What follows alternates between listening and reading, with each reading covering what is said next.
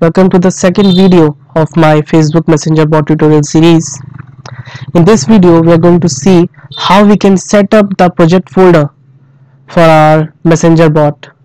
Okay, so first of all you need to have Python 3 or Python 2. I will be using Python 3 so I can say that is preferred.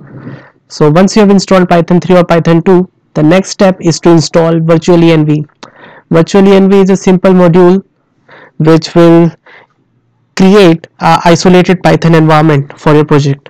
So you just have to type a simple pip command pip install virtualenv and it will get installed.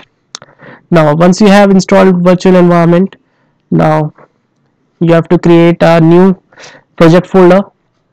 I have named it Facebook Messenger bot. Okay and I'm going to open the command window here and I'm going to type virtual env and the name of my virtual environment. I'm giving it the name myvenv so what virtual env basically does?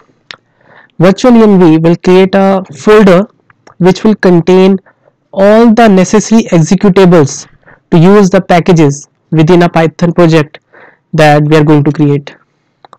Okay?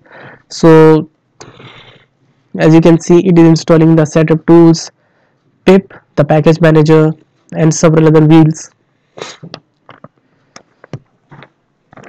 So why do we basically need the virtualenv the answer is simple. To keep the desired project to keep the desired package versions for my project and also to keep my global site packages directory clean and manageable. Right so my virtual environment has got created.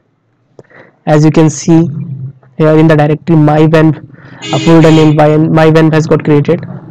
You can see it contains another isolated environment which contains all the necessary python executables. Now the next step is to activate the virtual environment. So how we can uh, activate it? It is simple. The name of a virtual environment scripts slash activate. And the virtual environment has got created I can see here.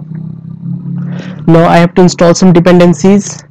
These are pip install flask the web framework that we'll be using request module and PyMessenger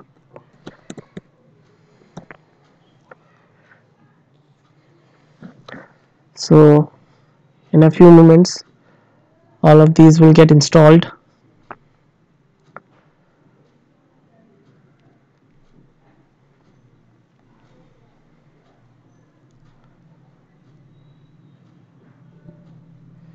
So we have installed all the dependencies which we'll be basically needing.